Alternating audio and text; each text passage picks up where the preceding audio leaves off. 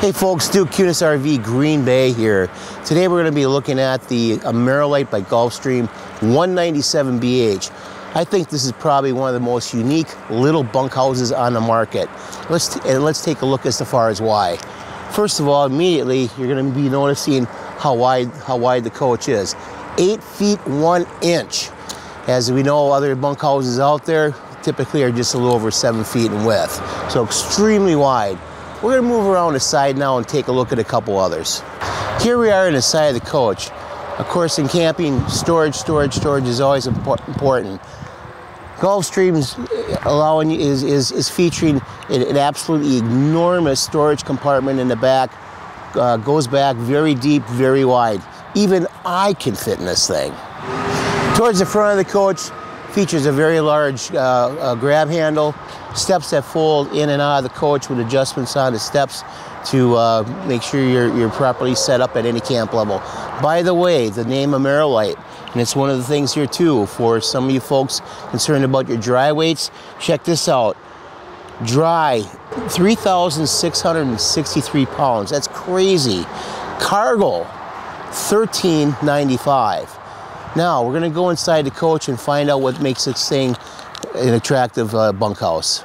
This coach features a Murphy bed. I've been hearing from a lot of customers as far as one of the things they like about the Murphy beds is that in case of a rain event, they have a lot of seating area for the additional guests to sit in versus on the outside of the bed. Of course, for those that are not aware of what, what a Murphy bed is, simply you have your couch with additional storage underneath it, snap, snap on both sides,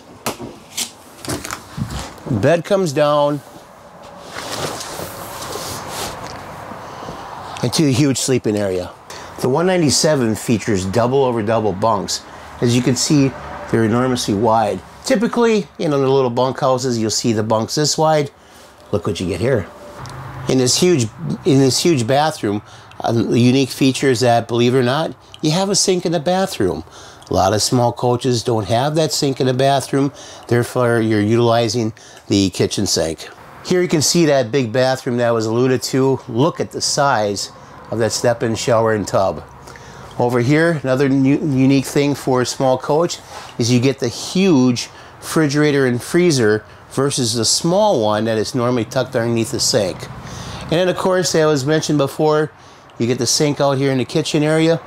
You get a double and you get a double sink, which is nice for washing and rinsing. So in recapping the Amerilite 197BH, again, the uniquenesses of it.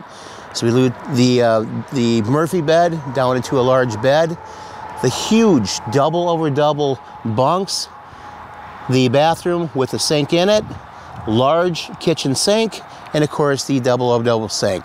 See, we're running out of these folks as we are with all inventory, so let's see you here soon at Kunes RV Green Bay.